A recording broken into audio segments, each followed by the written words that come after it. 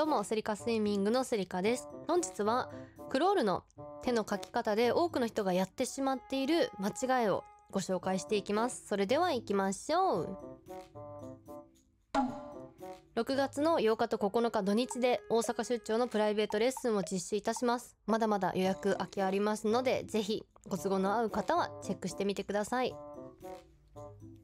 ということで、今回も以前開催いたしました撮影会での参加者の方の映像をもとに解説をしていきます。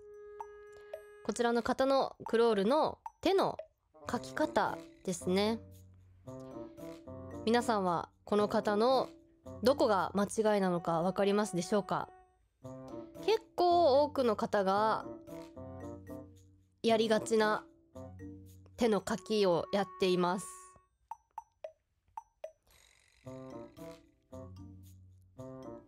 はい。では、正解をご紹介していきます。今、この手の書き、手にたくさん泡がついているのわかりますでしょうか？これが推進力を妨げてしまっている一つの原因になっています。この方の場合はほとんどが左手ですね。右手の場合はそこまで泡はついてきていませんが、まあ大体この方の特徴としては呼吸をしてる時に伸ばしている方の手で泡をくっつけてしまってそのまま書いているっていうのがこの方の大きな特徴ですね。まあどうしても呼吸をしている時の伸ばしている方の手って不安定になってしまうので、まあ、手の書きっていうのがなかなか安定しにくいものではありますが、この手の書きで一緒についてきてる泡っていうのは割と簡単になくすことはできます。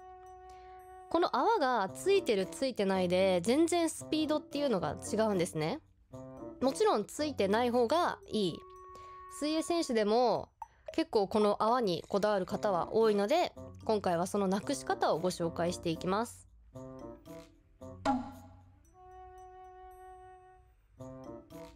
ということで実際の私の泳ぎを見ながら解説をしていきます。どうでしょうか？私の泳ぎはついてきてないですね。危ない。いや、どうしても、やっぱついてくるときはついてくるんですよ。で、どういう時に泡が発生しちゃうかっていうと、早く泳いでる時ですね。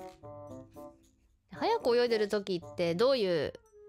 手の回し方をしてるかっていうと、ずっと高速で回してるわけなんですよ。今のこの映像っていうのはどちらかというとゆっくりのんびり泳いでるクロールになるので、まあ、そこまで手の回転っていうのは速くないし、せわしなくやってるわけではないから、あんまり泡がついてこないんですけど、どうしても早く余裕がないと泡がついてきてしまいますね。ということで、じゃあどうやったら泡がついてこなくなるかっていうと、それはもう簡単で、書き始めの位置を水深だいたい2、30センチぐらいから書き始めるようにしてみてください。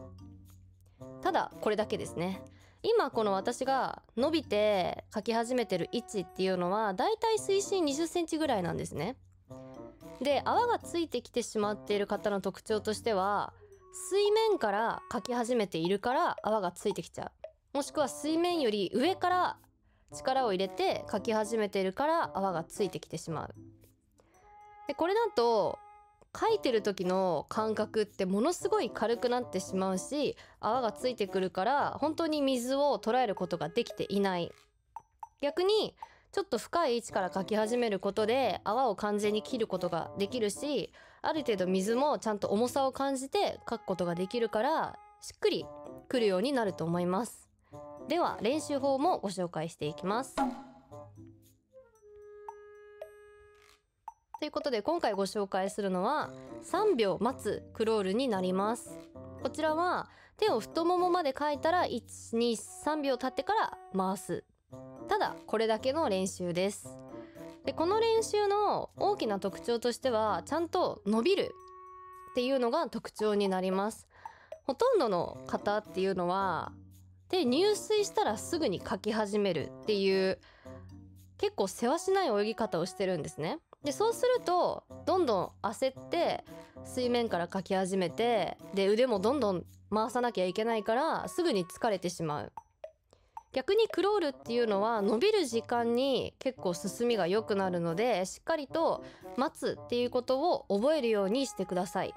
そういう意味で太もも3秒止まってる間にもう片方の手っていうのは必ず伸びている状態になるのでその伸びている時の手の深さですね。先ほど言ったようにだいたい20センチを目安に伸びれるようにしてみてください。たとえ入水の時に泡が結構手の周りにくっついて入水したとしてもこの水深20センチで3秒間伸びている間に泡は完全に切ることができるのでまずはちゃんと泡を切ってからかき始めるっていうのを覚えてくださいだんだん慣れてくると入水でも泡をついてこなくなる泡がついてこなくなるような入水角度とか速度とかご自身で見つけることができると思いますのでまずはちゃんと泡を切ってから描き始めるようにやってみてください。ということで以上がクロールの泡をついてこなくさせる描き方のコツでした。是非皆さんもやってみてください。意外と注意深く自分の手見れば泡泡ついてるなとか感じると思うので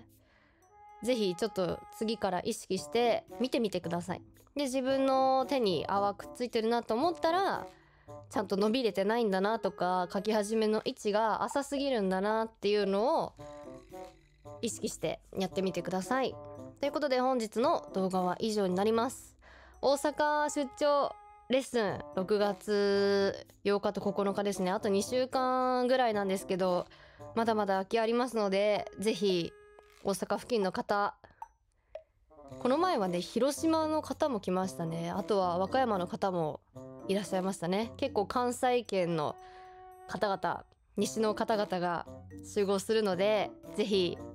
ご都合合わせて一緒にレッスンしましょ